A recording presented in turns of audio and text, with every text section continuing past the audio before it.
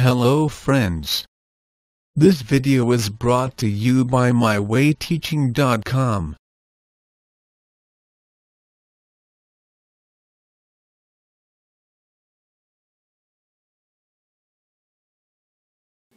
Let us now construct a quadrilateral when two diagonals and three sides are given.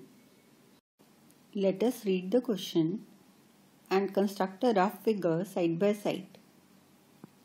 The question says construct a quadrilateral ABCD. Given that BC is equal to 4.5 centimeters, AD is equal to 5.5 centimeters.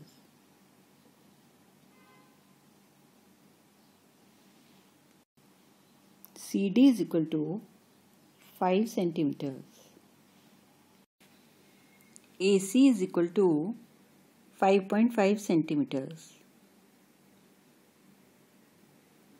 And BD is equal to 7 centimeters.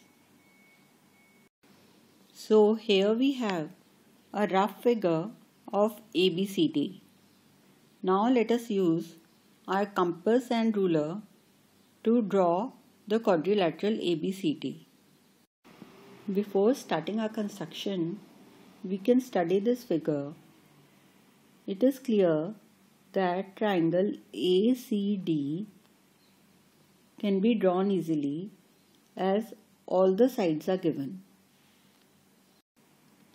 Once triangle ACD will be drawn, it will be easy to draw triangle ABC as one of the sides is given and with DS center and 7 cm radius, we will be able to mark an arc such that the two arcs will intersect at B. Using a ruler, draw a line segment AC of length 5.5 centimeters. Using a compass with A as center and with 5.5 centimeters radius, mark an arc. Now with C as center, mark an arc with radius 5 centimeters such that it intersects the previous arc at D and join AD and CD. We have AD equal to 5.5 centimeters and CD equal to 5 centimeters. Now using a compass with D as center and 7 centimeters as radius, mark an arc on the opposite side of line segment AC. Our point B will lie somewhere on this arc.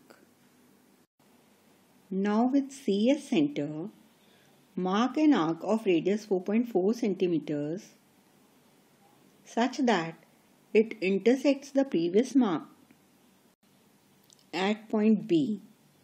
Now join AB and CB. Then we have CB equal to 4.5 centimeters and DB equal to 7 centimeters. Hence, ABCD is the required quadrilateral.